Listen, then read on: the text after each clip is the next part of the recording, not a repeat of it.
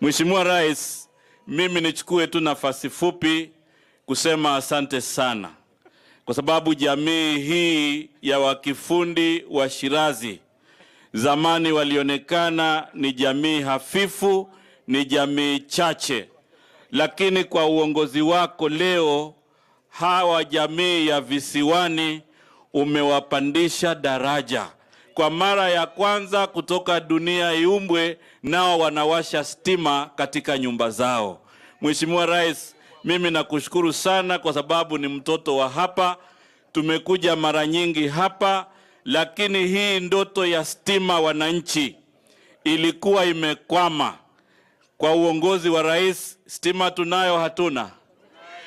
Mheshimiwa Rais, jamii hii ya hapa wanategemea uvuvi, ndiyo maisha yao.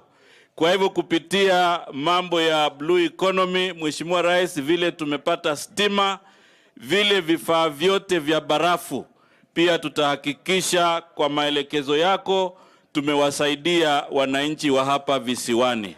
Tayari wako na mashini mbili ambayo inatumia sola, na Mheshimiwa Rais, kwa maagizo yako tutawaongeza kwa sababu gavana wetu amejenga landing site pale.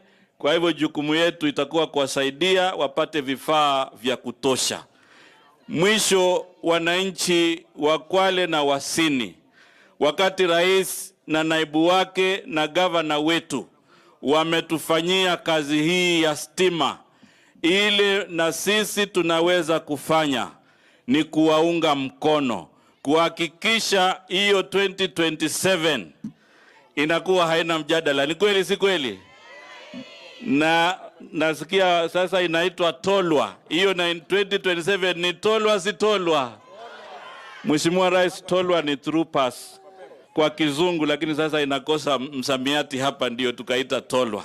Kwa hivyo Mheshimiwa Rais, sisi tunakuunga mkono, sisi pia ni jeshi yako, ni watu wako wa mkono na tutaendelea kufanya kazi hii ya wananchi iweze kunawiri. Nichukue nafasi hii nimwalike Deputy President wetu ili aweze kuongea na wananchi na kuendeleza ratiba.